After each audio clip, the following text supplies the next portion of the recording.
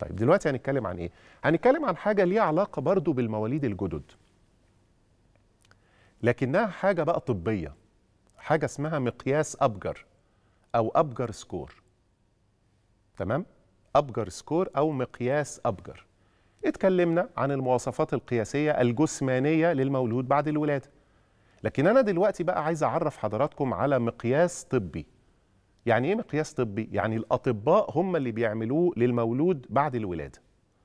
وده بيتم داخل غرفة الولادة إذا كانت ولاده طبيعية أو غرفة العمليات في حالة الولادة القيصرية.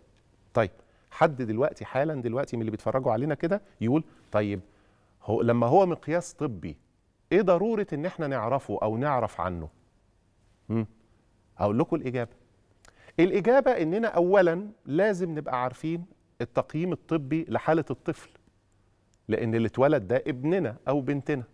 يعني ده ده من صميم حقوقنا يعني ومن صميم الفطرة الإنسانية إن إحنا نبقى عارفين طبيا هو حالته إيه.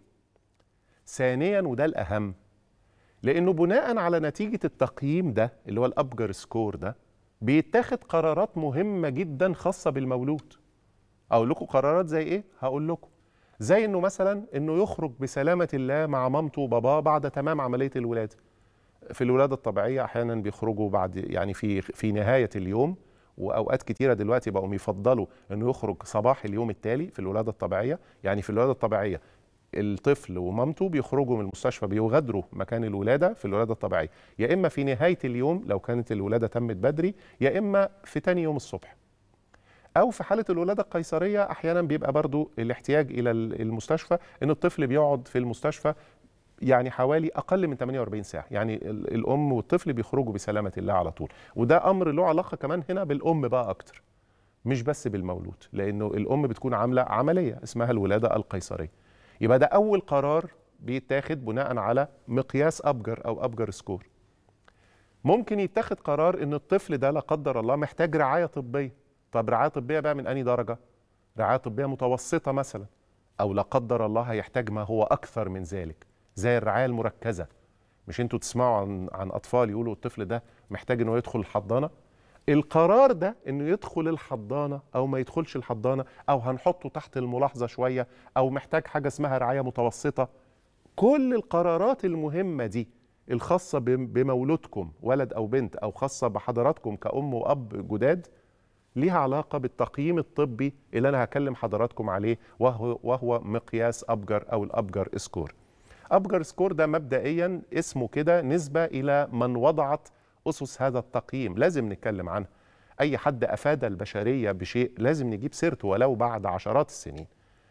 ومن وضع هذا التقييم هي دكتورة أمريكية اسمها فيرجينيا أبجر واتولدت هي في يوم 7 يونيو عام 1909 وتوفاها الله في السابع من أغسطس عام 1974 هي بالأساس كانت طبيب التخدير بالمناسبة وتعتبر من مؤسسين علم ملاحظات حديثي الولادة وتشوهات الولادة وبالمناسبة برضو هي تخرجت واشتغلت في كليات الأطباء والجراحين في جامعة كولومبيا.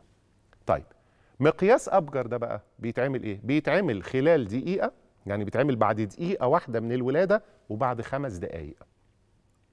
يعني كل الناس اللي بيخرجوا بكارت الولادة كده تلاقوا من ضمن المستندات اللي الطفل بيخرج بيها أو يعني بنخرج بيها فتلاقوا مكتوب مقياس أبجر بعد after 1 minute تلاقوا رقم after 5 minutes بتلاقوا رقم لأنه بيتم عمله بعد دقيقة من الولادة وبعد خمس دقائق من الولادة.